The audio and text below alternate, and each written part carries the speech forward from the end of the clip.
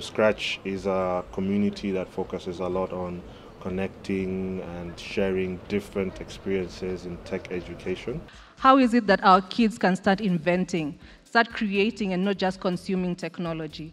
And right now in Africa, we know that the unemployment levels are really high, and we really need to create the jobs for ourselves. And for the first time ever, we've been able to translate the Scratch program in Kiswahili so that it is reachable to 15 people. So we have 15 p- million people who will be able to access this in their native language in Kiswahili.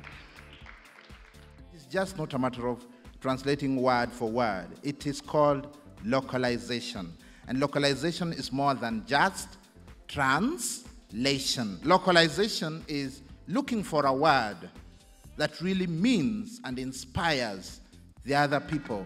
I've spent the whole of my career in schools trying to think a little bit about how we can do things differently within existing systems. And quite often, technology is not going to make teaching easier, but it is going to make it different.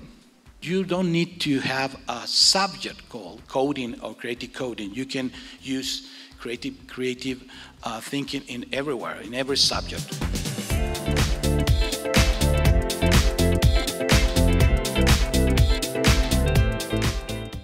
During the ignition talk, I've shared on how we mentor kids into coding to help them solve or provide solutions to the existing problems in the society. The government is going to introduce coding at grade four, which I mean, it's pretty awesome.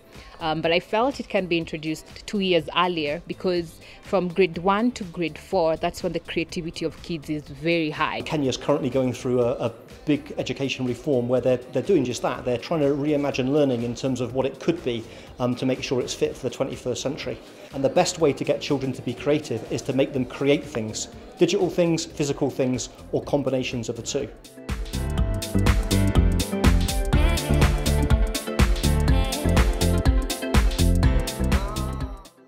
Curriculum reform in Kenya has not only restructured the education system, but also triggered a shift from knowledge to competencies. When automation takes away jobs, what does automation, uh, innovation do? It creates more jobs. Non-formal education has a really important role to play in influencing mainstream education and providing a creative space for young people to explore um, lots of peer-to-peer learning and developing relationships uh, that will really impact and, and you, you'll see a benefit in, in the classrooms. You guys are constructing your world. I'm not here to explain something else. I'm here to help you build your world. So one of the challenges that we're trying to address as Level Up is connecting pools of capital to removing these problems and keeping the clubs free.